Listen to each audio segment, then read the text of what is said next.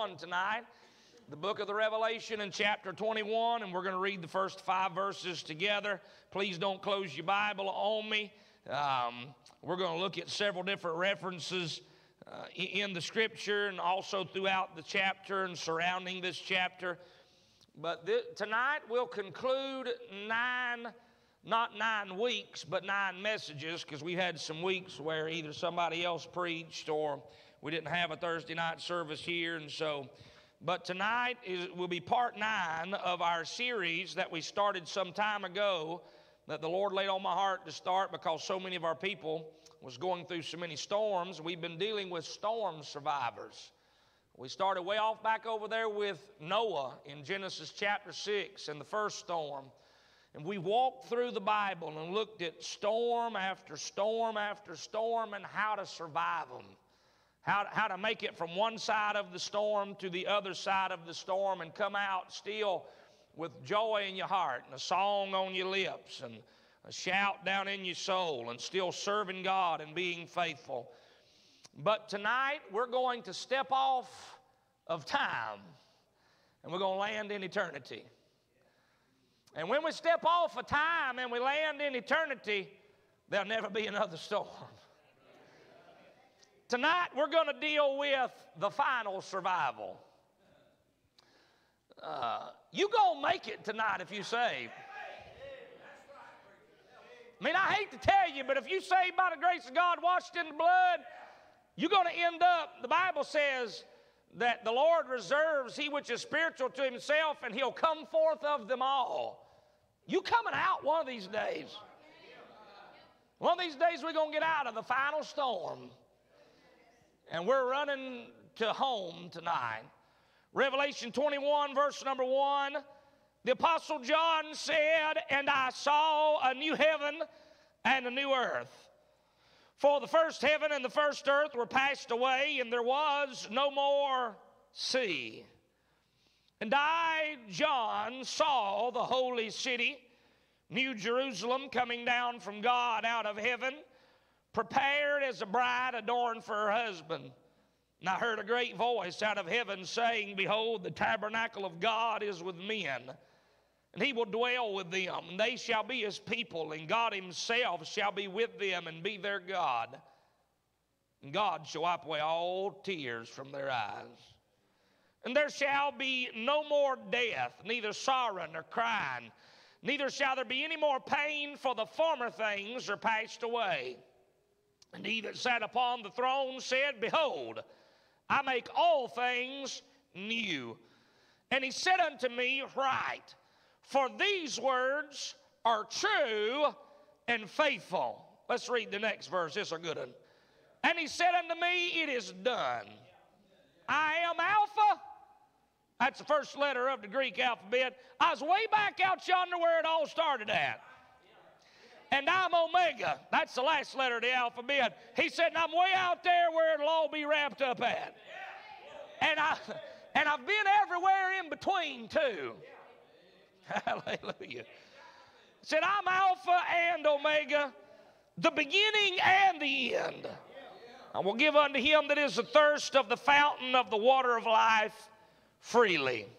Here in our text tonight, we find the finality of storm survivors. You say, Preacher, why do you turn to this text to show us the, the, the, final survival, the finality of God's people surviving storms and landing on heaven's shore? Because the Bible said in verse number one, I don't know if you caught it, but the very last clause of verse number one, the last six words of verse one said, And there was no more sea.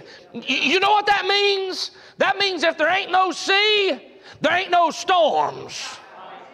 You're going to a land where storm clouds will never roll in.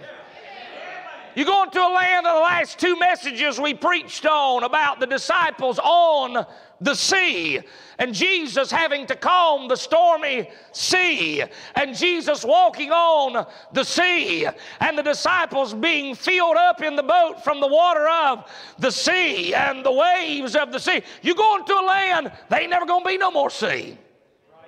Which tells me that there ain't never gonna be any more storms tonight.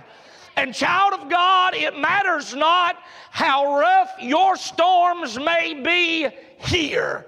Mark this down, tattoo it to your heart, weld it to the inside of your soul. Mark this down. You are going to get out one day.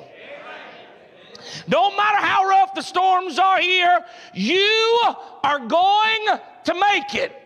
You say, How do you know that? Because that Alpha, that Omega, that beginning, that ending, that God promised that I would.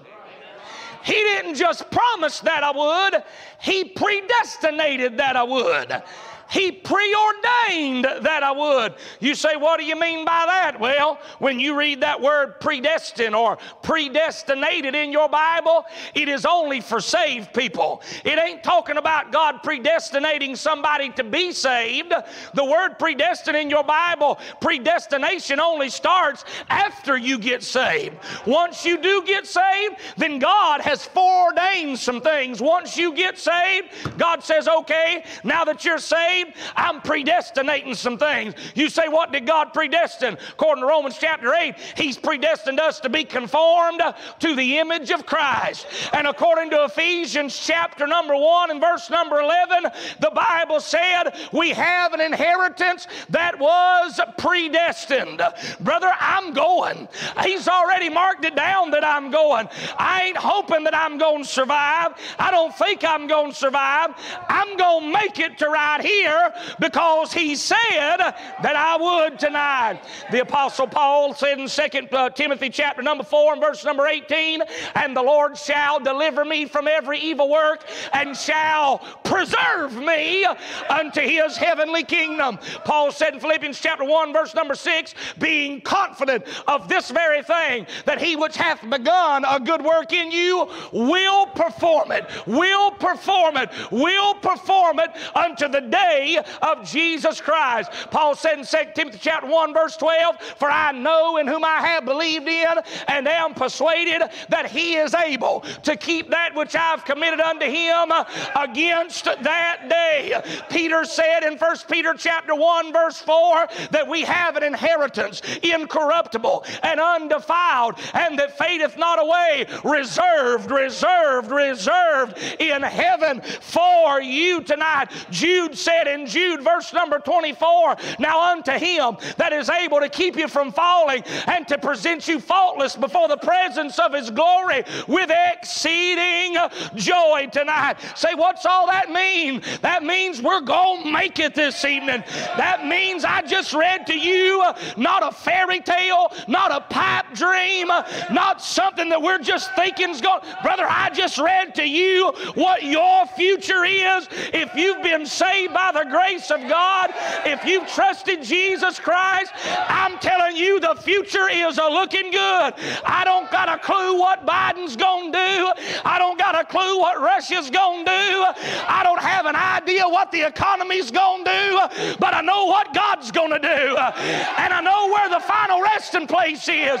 And there may be a lot of storms from here to the bright sunny shores of heaven, but if worse comes to worse, I'm still going. I'm still going to land over there. And you can make it through storms here, knowing there's coming a day where there'll never be another storm tonight. Lift up your head, your redemption draweth nigh. Now is our salvation, Paul said, now is our salvation nearer than when we believed. We're talking about the final survival tonight. There are things that we're going to survive to see. Several things in the text. Can I throw them out real quick to you? Things that we're going to survive to see. Say, preacher, I'm telling you, I am going through storms in this life. I know you are. That's why I've been preaching this series. That's why I preached eight messages about how to survive these storms and keep walking with God. But tonight, we ain't talking about surviving storms no more. We're talking about the day we're going to get out of them. Never, ever, ever going to be another one. Say, what are we going to get to see when the final survival comes? Well, we'll see new things. New things.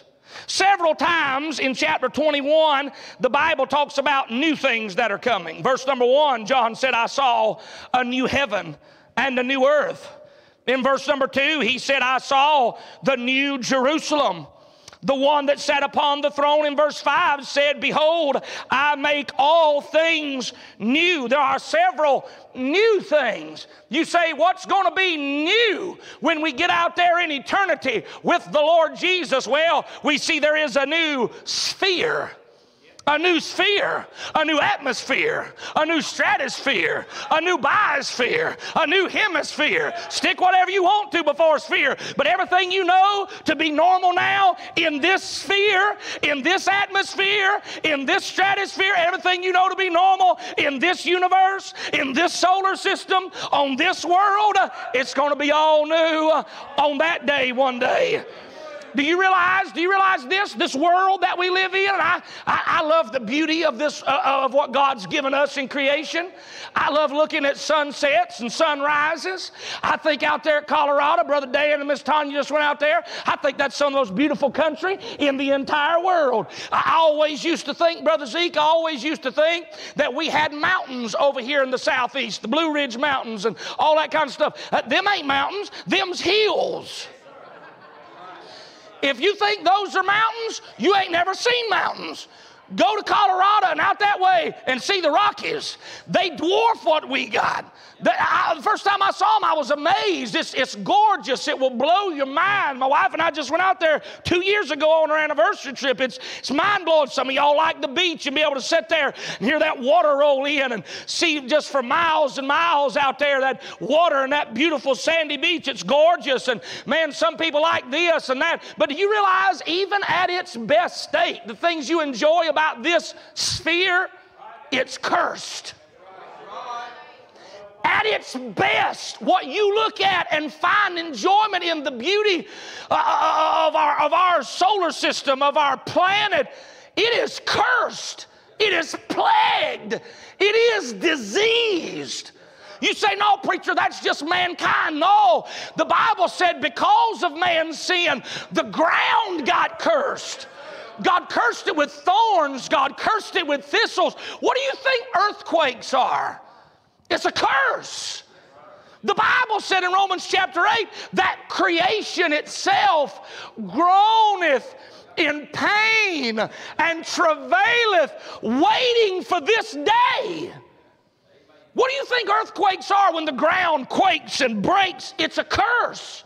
What do you think tsunamis are? That these huge waves develop out in the ocean and wipe out thousands of people and towns and populations. It's a curse. What do you think tornadoes are that wreak havoc on communities and roll through uh, and level places and kill people? It's a curse. What do you think hurricanes are that sweep through out of the Gulf and come up uh, out of the Atlantic and hit our, our coast? It's a curse. What do you think floods are? It's a curse tonight. What do you think extreme temperature is? Extreme heat that makes you sweat. There was no sweat in the garden when the earth was perfect. The Bible said that's part of the curse. He told Adam, In the sweat of your face, you're going to work. There was no extreme temperature, no extreme cold, no extreme heat. It's all a curse. Everything we look at, everything we enjoy, it's all plagued.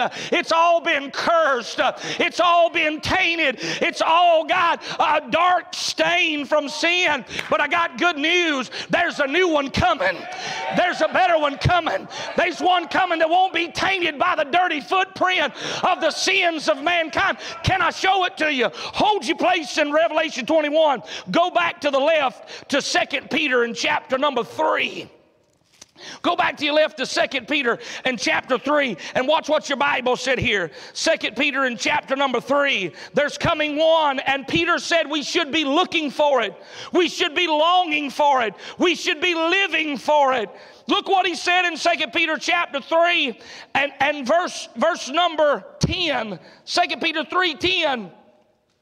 But the day of the Lord will come as a thief in the night, in the which the heavens shall pass away with a great noise, the elements shall melt with a fervent heat, the earth also and the works that are therein shall be burned up. Don't hold on to this world too tightly, it's going to burn up. Seeing then that all these things shall be dissolved, what manner of persons ought you to be in all holy conversation and godliness? Watch it, verse 12. Looking for and hasting unto the coming of the day of God, wherein the heavens being on fire shall be dissolved, and the elements shall melt with fervent heat. I love verse 13. This is the new thing. Look at the new thing. This is what we're looking for. Nevertheless, we, you and I, according to his promise, look for new heavens and a new earth wherein dwelleth righteousness. Uh, brother, that's where we're headed. We're headed to a sphere that there ain't no sin that's ever tainted it. We're headed to a sphere, brother, that ain't never had anything wrong with it. It's going to be right from the beginning and right to the end. We're going to get back everything that Adam lost. We're going to survive to see the new sphere tonight. Not only do we see there's a new sphere, there's also coming a new city. There's coming a new city along with that new sphere. This world, this sphere couldn't handle the new city. So God's got to make a new sphere to handle the new city because it's awesome. Look at Revelation 21. You still got it open there. Revelation 21 said this in verse 2 I, John, saw the holy city. It's called New Jerusalem, coming down from God out of heaven. Do you want to know what this city looks like? Come down to verse, come down to verse number uh, 10. Watch this city. My goodness, watch this city. And he carried me away in the spirit to a great and high mountain and showed me that great city, the holy Jerusalem, descending out of heaven from God. Personally, I believe this is what Jesus spoke of when he said, I go to prepare a place for you. I believe it was the New Jerusalem, the holy city. It's in the third heaven right now, but one day it's coming out of the third heaven having the glory of God. And her light was like unto a stone most precious, even like a jasper stone, clear as crystal, and had a wall great and high, had 12 gates, and at the gates 12 angels and names written thereon, which are the names of the 12 tribes of the children of Israel. On the east three gates, on the north three gates, on the south three gates, on the west three gates. The wall of the city had 12 foundations, and in them the names of the 12 apostles of the Lamb. He that talked with me had a golden reed to measure the city, the gates thereof, and the wall thereof. Check the dimensions out on this whopper. And the city lieth four square. The length is as large as the breadth. And he measured the city with the reed 12,000 furlongs. Y'all, that's over 1,500 miles. The length and the breadth and the height of it are equal. It's oh, y'all, that thing's over 1,500 miles that way, over 1,500 miles that way, and over 1,500 miles that way. You say, My mind can't comprehend that. That's because you live on a cursed sphere. And all you've ever known are cursed cities. But ain't that what the cities here are trying to do? Every big city you go to, you know what they're trying to do? They're trying to go that way, and that way, and that way but they ain't never going to get as big as what God's going to do. Brother, God's going to dwarf any city that man ever made. They ain't never going to get that way, that way, and that way. Big as God's city is. Keep reading. Check this city out. Check it out. I'm, I'm reading to you about something here now. I'm going to make a comment here in just a minute. Verse number 17. And he measured the wall thereof, 144 cubits, according to the measure of a man, that is of the angel. And the building of the wall of it was of jasper, and the city was pure gold, like unto clear glass. The foundations of the wall of the city were garnished with all manner of precious stones. The first foundation was jasper, the second, sapphire, the third, a chalcedony, the fourth, an emerald, the fifth, sardonyx, the sixth, sardius, the seventh, chrysolite, the eighth, beryl, the ninth, a topaz, the tenth, a chrysoprasus, the eleventh, a jacinth, the twelve, an amethyst, and the twelve gates were twelve pearls. Every several gate was of one pearl. Good God, my Lord, the clam must have been to make a pearl that big, praise God. And the street of the city was pure gold, as it were transparent glass. And I saw no temple therein, for the Lord God Almighty and the Lamb are the temple of it. And the city had no need of the sun, neither of the moon to shine in it, for the glory of God did lighten it, and the Lamb is the light thereof. You say, Preacher, what did you just get done reading to us? Preacher, what in the world did you just get done telling us about? I just read to you about home. Y'all, that's home. I just just read, if you're saved by God's grace, that's where we're headed. That's where my fa- that's where my family's going to live. That's where my babies are going to know. That's where people that's got gone before us is already at. We're going to see it. It's the new city. It's the holy city. That's home tonight. My home is not 11360 Old Concord Road, Rockwell. My home has never been 755 Ben Roman Clinton Road, Lyons, Georgia. When I got born again, that's home. All I am, Brother John, is I'm a pilgrim and a stranger. I don't belong in this world no more. I don't belong in this messed up society no more. I'm an alien in this world, but that's home. I ain't reading you some pipe dream. I ain't reading you some fairy tale. You know the problem with some of God's people? It ain't real to us no more. It don't hold no love for us no more. We don't desire it no more. But that's home, child of God. Bible said, Oh, Abraham, the father of faith, said, He looked for a city which hath foundations, whose builder and maker's God. Brother Matthew, oh, Abraham's just like me. He was a country boy looking for a city. I, I'm a country boy. I ain't never lived in the city, but I will one day. I'm a country boy looking to move to a city. I've been to some cities. Some of y'all been worldwide cities. I've, I've been, you know, overseas and seen some cities. I've seen most of the major American cities around here. I ain't never seen one I wanted to live in. I never seen one I thought I'd like to live here. All them crime, murder, shootings and stabbings and killings and evil. But according to Peter, this one here, it's a place wherein dwelleth righteousness. You say, why is it going to be a place wherein dwelleth righteousness? Because the God of righteousness runs it, and the people of righteousness live in it. Thank God that's home this evening.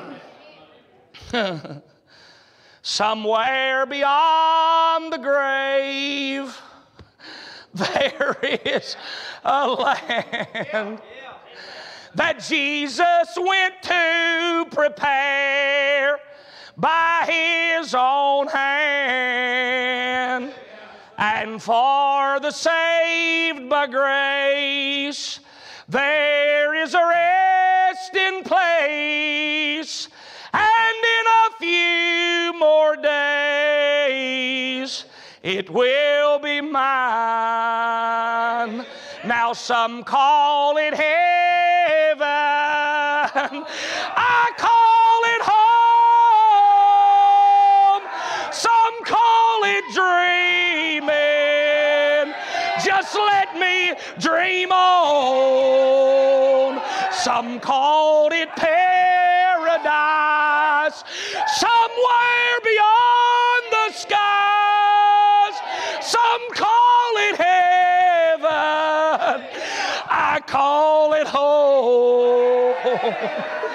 That's home, friend. You're gonna survive. You're gonna survive. Isn't that worth surviving for? Hey, hey, hey, it's worth seeing, friend. I'm gonna see it. Sail on. Work through the trial on. Live through the storm on. Home is waiting. Home's just on the other side. Maybe by tomorrow we might pull in the dock. Just sail on. Just go a little farther. I love what your Bible said in Acts 27 over there where Paul was in that storm. It said when he was in that big old storm, Brother Mike Moody, it said that the, they sounded, they sent out a sound through the water and they found they were drawing near to some country. they could tell they was getting closer and closer. Y'all, by the looks of things and sound of things that I'm seeing, we're getting real close. You say, How close are we to that? We closer than you think we are. We're getting real close. Hallelujah. I got to hurry here. I'm, uh, uh, I, I, was about to turn cartwheels in my spirit this afternoon uh, looking at this stuff myself. New things. We're going, it's the final survival to see new things. Can I say we're going to see something else? We're going to see no more things. You say, what do you mean see no more things? You just said we're going to see something. No, I mean there's some things that the Bible says there'll be no more of. It's a land. Where we're going, it's, it's, Brother Doug, it's a land of no mores. So what do you mean, preacher, a land of no mores? Look at verse, verse 1 said this at the end of verse 1. The very end of verse 1 said, There was no more sea.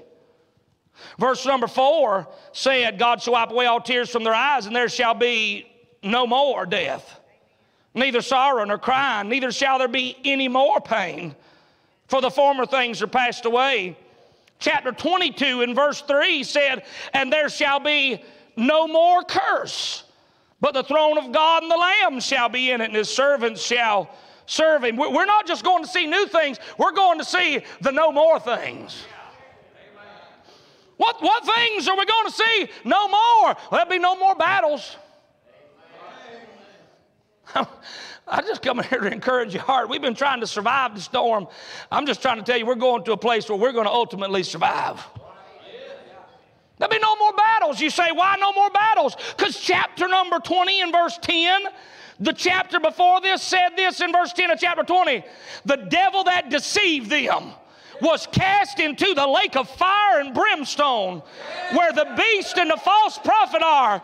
And that sorry, good for nothing, low down, rotten skunk that has fought me every step of the way shall be tormented day and night forever and ever.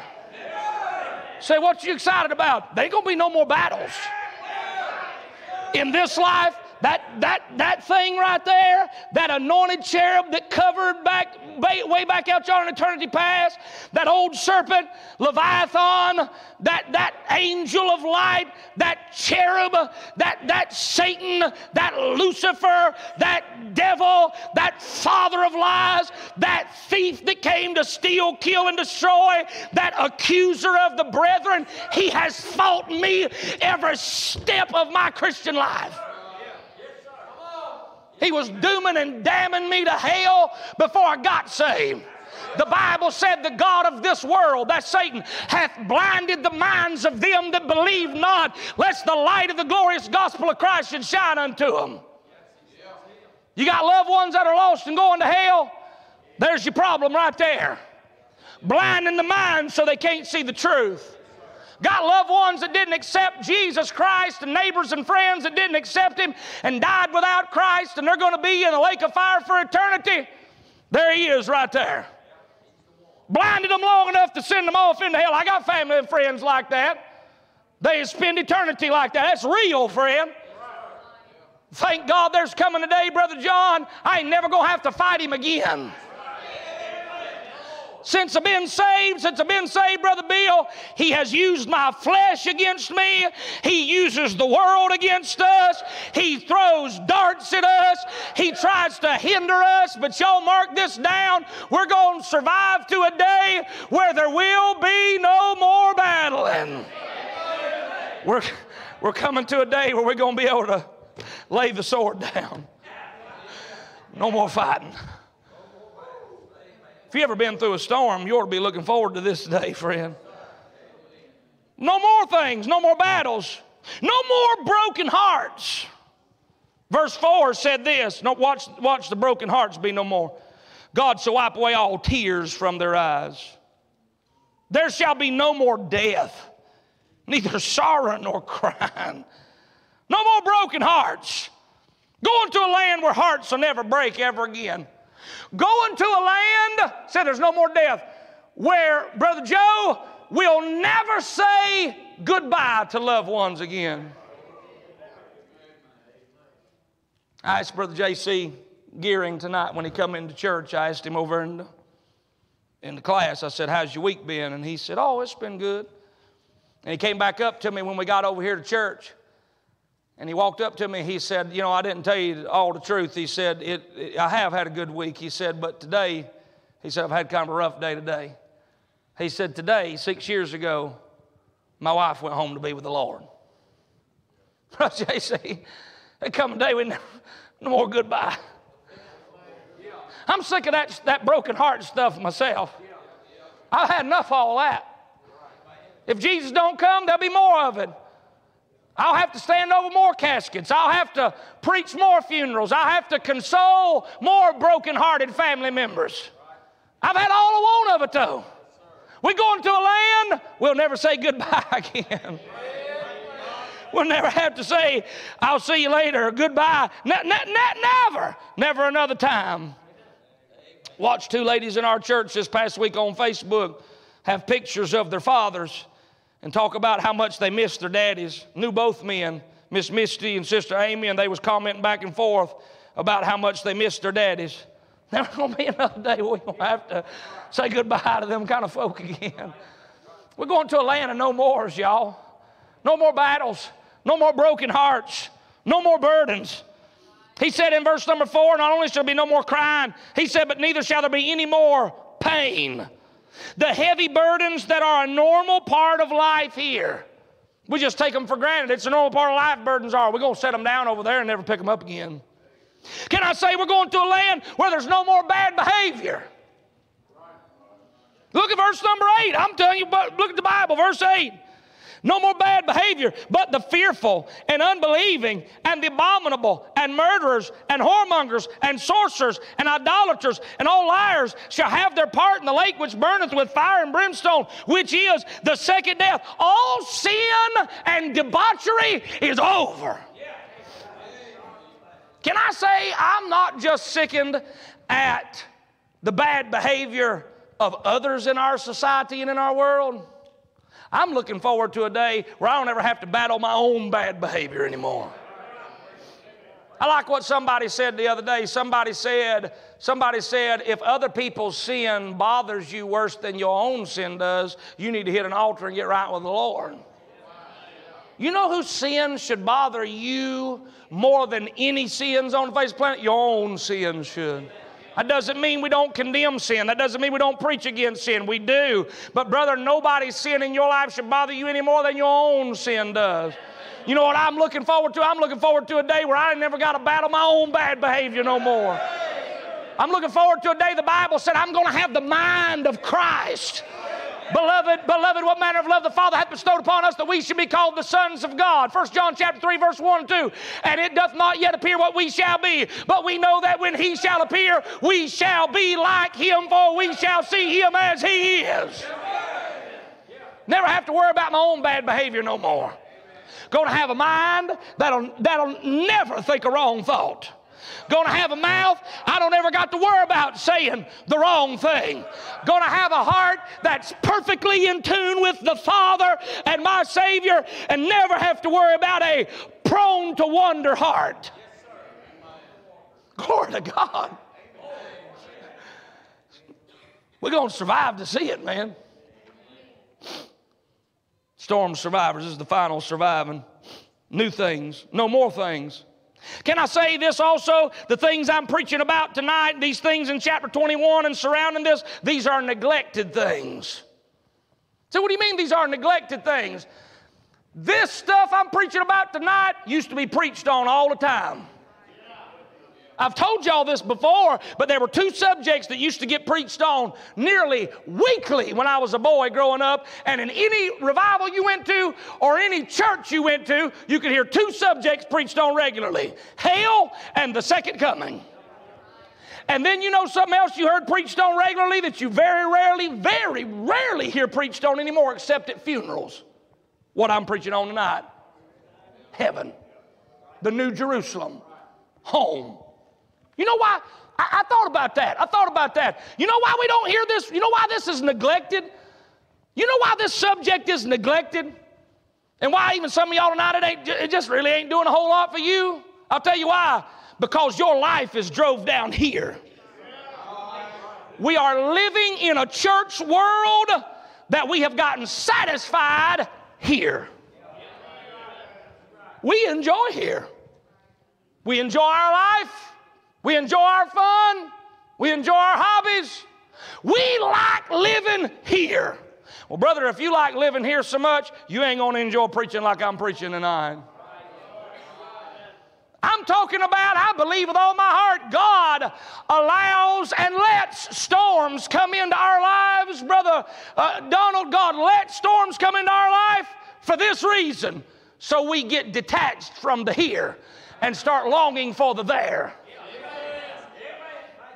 Yeah, absolutely. Some storms ain't meant to sink you or to crush you, it's just make, made to get you to refocus.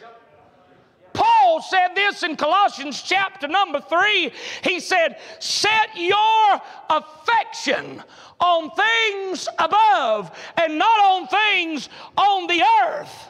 He said, When Christ, who is our life, shall appear, we're waiting for him. Don't get adjusted to this world. The things I'm preaching about tonight are so neglected by most preachers and most bodies of Christ because people ain't looking for Him to come. All of our messages and all of our preaching centers around this how to get along in this world, how to make it in this world, how to survive in this world. I ain't staying in this world. You, you better start living your life here for what's coming. You, bet, you better start laying up for yourself treasure in heaven where neither moth and rust doth corrupt, where thieves don't break through and steal. Seek ye first the kingdom of God and his righteousness. Set your affection up there. God will take care of the rest down here. We're living in a day where preachers are trying to build kingdoms here like they gonna stay. I'm convinced some of them probably are trying to build museums, mausoleums, big thrones on earth. Brother, I'm, I'm trying to get as many people to go with me yonder way. Everything, everything down there is going to burn up anyhow. I just read to you a minute ago, 2 Peter 3, it's going to burn. It's all going up. Paul rebuked some men that tried to keep Christians neglecting what I'm preaching about tonight. 2 Timothy chapter number 2, Paul said, to be wary of two men named Hymenaeus and Philetus. And he said, Who concerning the resurrection, that's when we get yonder where I'm preaching about, who concerning the resurrection has said it's already past, and they overthrew the faith of some. In other words, he said these Hymenaeuses and Philetuses, they're not getting people to be looking for the Savior and longing for the Savior and living for that world. They're just trying to get them to live right now. I am not the least bit interested in living here. I'm trying to live here for what's coming out there. These are neglected things. Then, lastly, let me say this these are necessary things. These things are not only going to be new things, it's not only going to be no more things, we find they're neglected things, but they're also necessary. This is what Peter said back over, if you still got your Bible there, 2 Peter chapter 3, right after, right after Peter, or right in the middle of Peter, talking about this new heaven and new earth. He says this in 2 Peter chapter 3 and verse number 11. He says this, seeing then, 2 Peter 3 11, that all these things shall be dissolved. Everything you see is going to burn up. He said, Seeing that all these things shall be dissolved, what manner of persons ought ye to be in all holy conversation and godliness? Verse 14, verse 14, he said, Wherefore, beloved, seeing that ye look for such things, be diligent that ye may be found of him in peace, without spot and blameless. You know why preaching on this stuff is necessary? It keeps us living right. Because if you ain't looking for nothing and you ain't longing for nothing and you don't think nothing's coming, just go do what you want to do. Act how you want to act. Live how you want to live. Do what you want to live because you ain't going nowhere. But y'all, we are. And because we're going somewhere, Peter said, because these things are going to dissolve, we ought to be a people that's got holy lifestyles. That's what conversation means. What manner of person ought you to be in all conversation and godliness? You know what preaching like this does too, why it's necessary? It keeps us, the whole point of the series of sermons It keeps us surviving the storms. You know what will help you survive your storm? Knowing that this ain't all there is. That He told us it would be this way. Beloved, think it not strange concerning the fiery trial which is to try you as though some strange thing happened unto you, but rather rejoice in as much as you are partakers of Christ's sufferings, that when his glory shall be revealed, you may also rejoice with exceeding joy. Jesus said, In this world ye shall have tribulation. He told us, stop getting shocked, stop getting rocked, stop getting your legs knocked out from under you. He told us, but be of good cheer. I've overcome the world. What does preaching like tonight do? It helps us refocus and say, oh, all right, yeah, I may be in a storm. Yeah, it may be rough. And yeah, there may be some sorrow. And yeah, it may be tough. But it's going to come to pass. And one day the sky's going to break clear and our Savior's going to step out and call us home.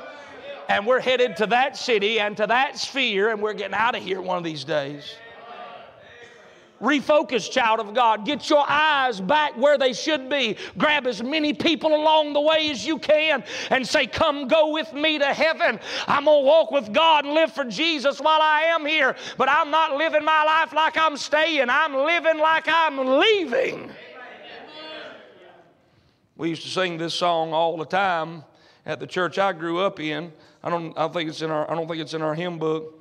The last verse said this Life's day will soon be done, all storms forever past, and we'll cross that great divide into glory safe at last.